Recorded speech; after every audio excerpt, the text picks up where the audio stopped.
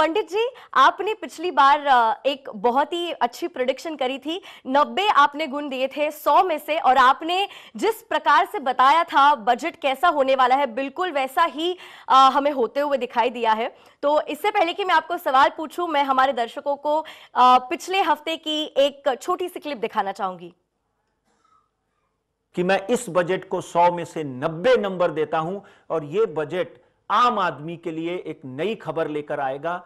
आम आदमी के लिए औरतों के लिए गरीबों के लिए किसानों के लिए मजदूरों के लिए इस बजट में एक स्पेशल प्रावधान आपको मिलेगा। हो सकता है आप ये कहें कि अगले पन, पिछले पंद्रह साल में ऐसा बजट नहीं आया। बहुत बहुत अभिनंदन पंडित जी आपका आपने जिस तरह से हमें बताया बिल्कुल वैसा ही बजट हमें दिखाई दिया है। और सवाल भी आपसे कुछ इसी प्रकार होने वाला है कि अभी जो ये बजट हुआ है 2021 का तो हमारे भारत के अर्थव्यवस्था पे और हमारे शेयर मार्केट और कमोडिटी मार्केट पे इसका हमें कैसे असर होता हुआ दिखाई देने वाला है आने वाले कल में? देखिए दो बातें यहाँ पर समझ के लेनी बहुत ज़रूरी है जी। कि 2020 जो गया वहाँ पे जैसे ही मकर राशि में सूर्य ने प्रवेश किया और शनि ने प्रवेश किया तो पूरा साल जो था, इतना भयंकर गुजरा कि ऐसे लग रहा था कि हमारी अर्थव्यवस्था और हमारा शेयर मार्केट जो है पाताल की तरफ़ जाते जा रहा है। हमारे देश में गरीबी जो है, वो बहुत ज़्यादा फैल जाएगी, महँगाई बहुत फैल जाएगी।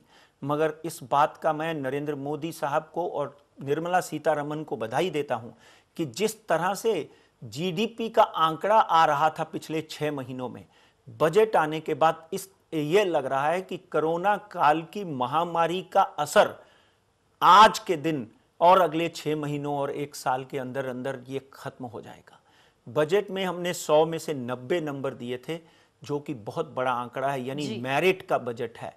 इस बजट को लोगों ने इस बजट को फाइनेंशियल एनालिस्ट ने इस बजट को मार्केट ने इस बजट को इंडस्ट्री ने इस बजट को एम्प्लॉयमेंट्स ने इतनी सरलता से इतने प्यार से आलिंगन किया है कि आपने देखा कि बाज़ार जो 47 48,000 में था वो 52,000 की तरफ़ भाग रहा है।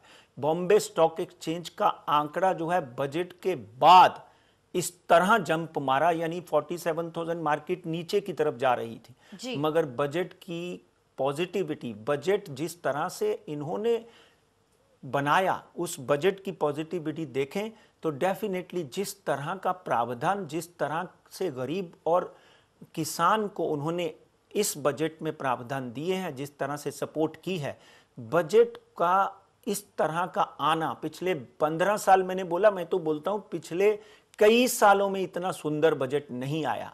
आज क्रेडिट पॉलिसी भी होकर जाएगी। आगे आने वाले दिनों में इस बजट का प्रभाव ऐसा होगा कि 2022 में जब आप ये सवाल मुझे करेंगी तो डेफिनेटली लोग बोलेंगे कि इंडिया में अर्थव्यवस्था जो है, उसके ऊपर कोरोना महामारी का कोई असर नहीं हुआ। इस तरह का बजट जो है, निर्मला सीतारमन और हमारे जितने भी एनालिस्ट हैं, वो बधाई के पात्र हैं। इवन ऑपोजिशन में विरोधी पक्ष लोगों ने भी बजट की सराहना की है। बस यहाँ पर एक ही निवेदन है कि किसानों की समस्याएँ, समस्याओं का हल हो जाए, ताकि किसान प्रसन्न हो, क्योंकि किसान जो है वो अन्नदाता है।